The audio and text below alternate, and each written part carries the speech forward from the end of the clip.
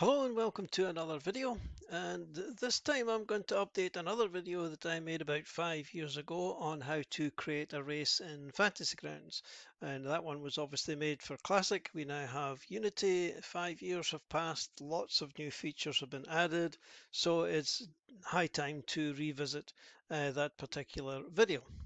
Uh, so we're looking at races, so we will open up our uh, races uh, list here. We've got the player's handbook open, so all the races uh, that are in there are already listed. Uh, and I'm going to show you two methods, a kind of longish way and an easier way. But well, let's start with the longish way first because it, it this brings out a lot of different things that you need to do in order to get your race to function properly. Uh, so we're going to click on the uh, green plus icon here to uh, uh, get the race dialog up. And if you watch the previous video on classes, you'll be kind of familiar with this because it's a similar idea. You've got a main tab here and you've got another tab. The main tab is basically just descriptive text and the other tab is where all the uh, action takes place. So let's do the main tab first. So we're going to call our race a Scotsman uh, for fun.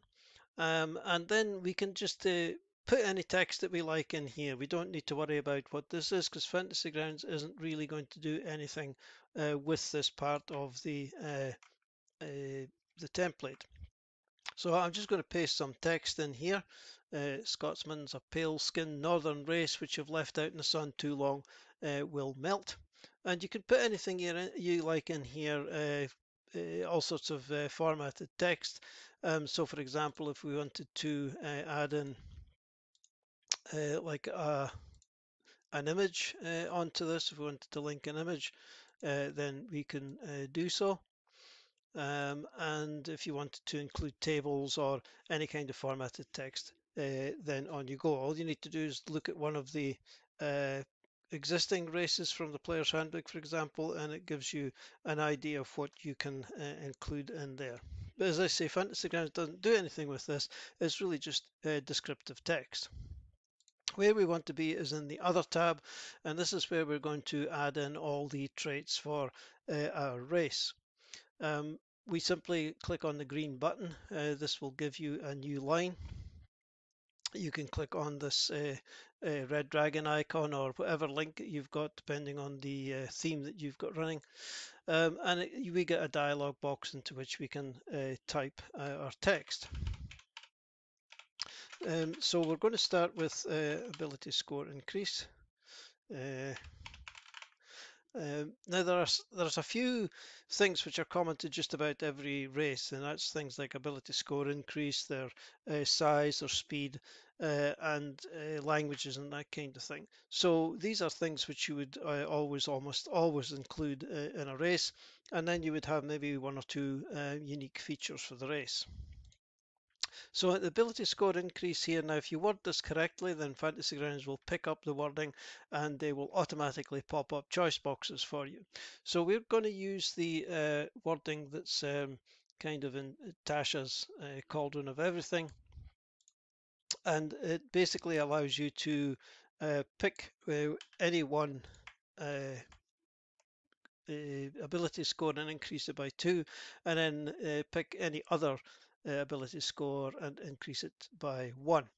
Uh, so that's how the text goes. One ability score of your choice increases by two and one other ability score of your choice increases by one. So stick to that wording and you will get the correct uh, choice box when we uh, drag this into the uh, character sheet. Uh, so that's our ability score increase. We can close that and we see that that's now been added as a trait to our race. Uh, so let's add in another uh, ability and again the uh, green button uh, open up the uh, link here and this one we'll call size. And again we've pasted we've got some text to paste in for quickness. And that's all you need. Your size is medium your size is small your size is large whatever. You don't need anything else. You can have lots of other text in here as long as you've got a sentence in there uh, which says that uh, your size uh, is medium, large, small, whatever. Uh, and that's another one. And then we can go on to the next one. And this one will be speed. and we can copy some text again. And again, that is all you need. Your walking speed is X feet. Um, now you can have more text, as I say, than this, as long as you have a sentence in there that somewhere that says your walking speed is uh, X, X feet. Uh, and Fantasy Grounds will pick that up and will automatically enter it into uh, your character sheet. And let's do one more like this. Uh, we can also, if you wanted to, you can just uh, type in uh, here um, and we can then copy some text in. And if you follow that you can speak read and write common and one other language of your choice. Then fantasy grounds will pick this up. The wizard the character wizard will pick this up. It won't get picked up if you use drag and drop uh, but the character wizard should pick this up um, and it should give you the the choice of a, a, language. It should pop up the the languages that are available. Um, but uh, if you drag and drop, then I think I don't think it, it will uh, pop up a, a, language choice box in that instance. Um, okay, so these are kind of the basic uh, sort of ones that you uh, would like. You can also have things like a creature type if um, you've got uh, a creature type or whatever.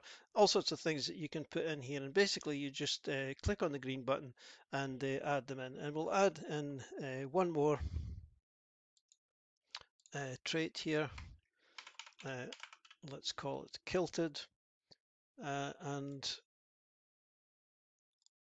then we'll just paste in some text. So while we're wearing a kilt with nothing underneath, you have advantage on attack rolls against creatures whose wisdom score is greater than 15.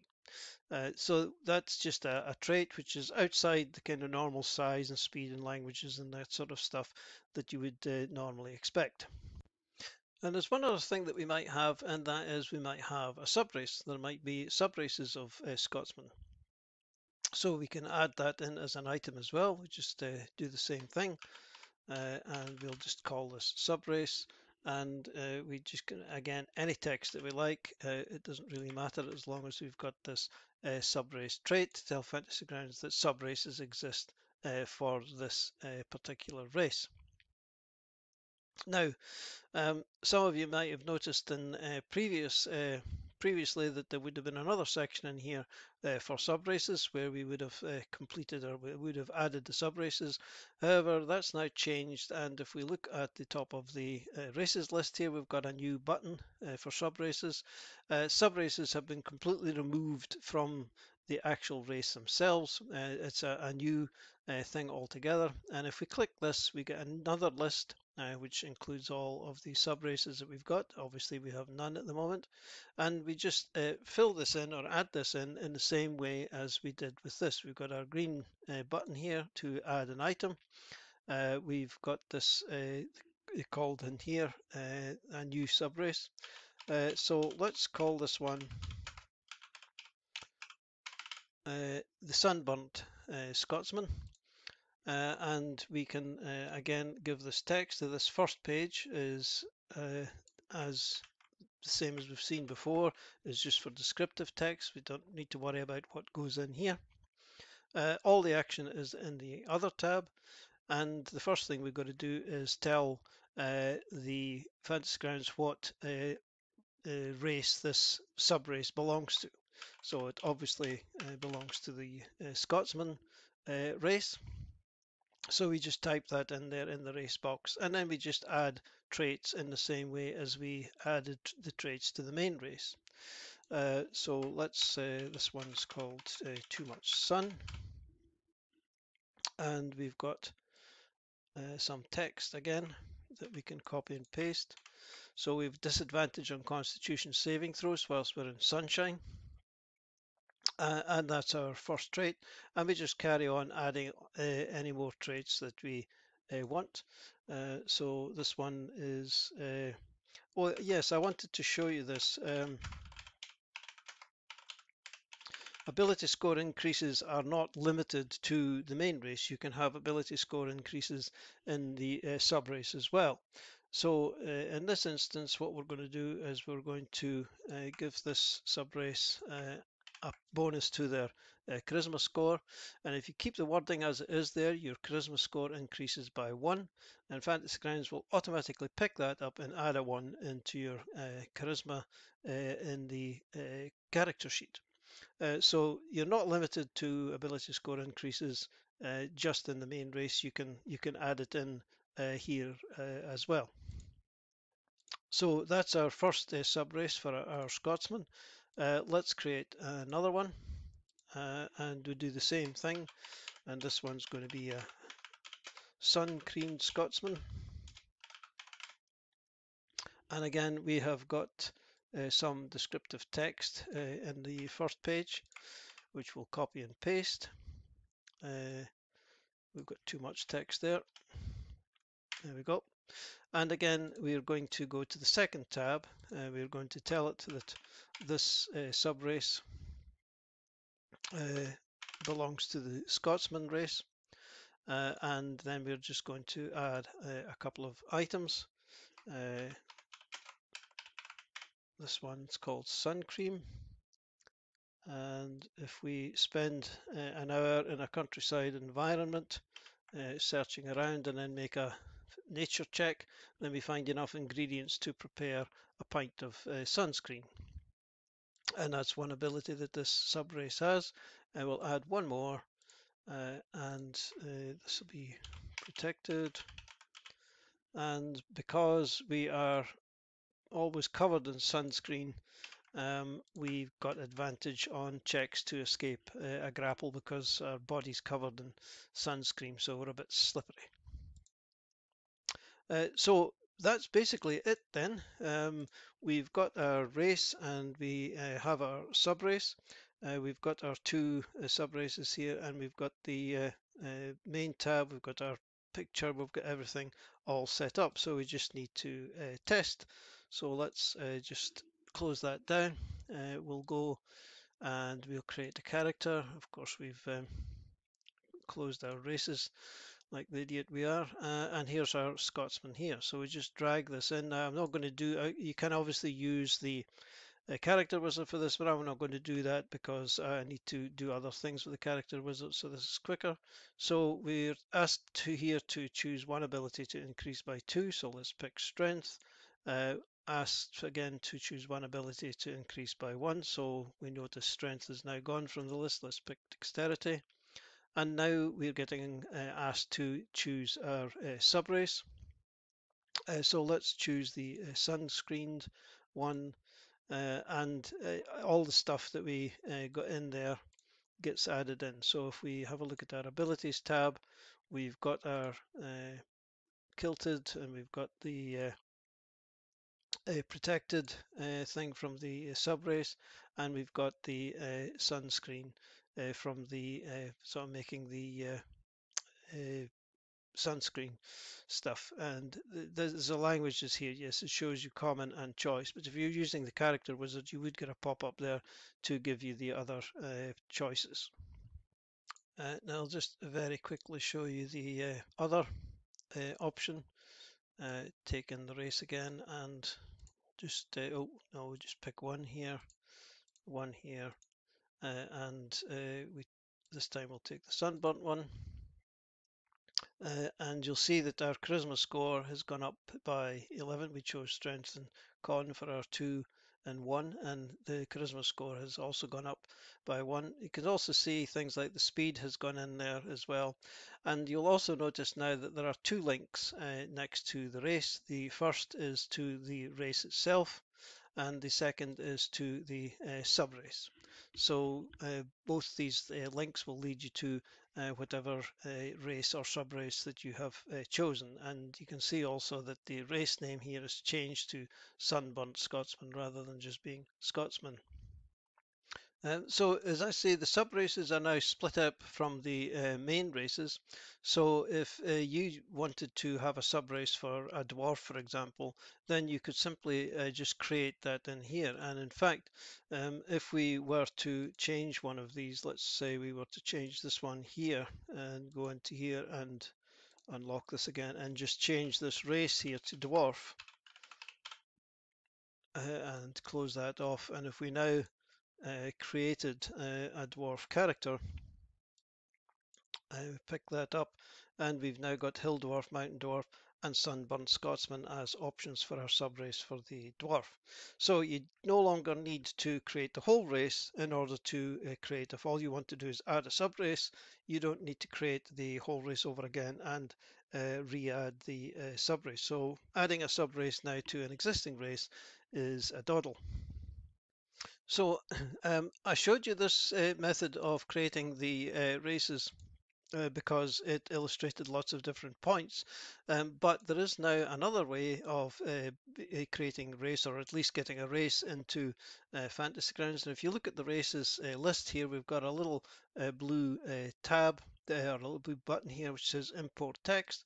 If we click on that, we've got an import race window.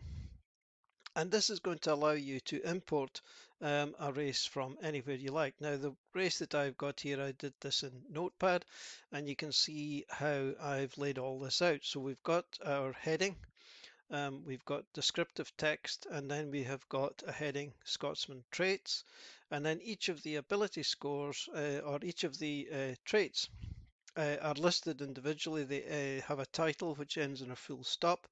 There's uh, lines of text and then we have another word size speed it all goes in there. We have subrace choose a subrace and then we have the name of the subrace. Now the, the, the name of the subrace must include uh, this. So we can't have uh, a different we've got to have scotsman in it so sunburnt scotsman and sunscreen Scotsman, we've got to know that because Fantasy Grounds will pick up on this or the importer will pick up on this and create these two sub races for us. And then the sub races themselves have got the same kind of idea, some descriptive text and then the features ending in a full stop.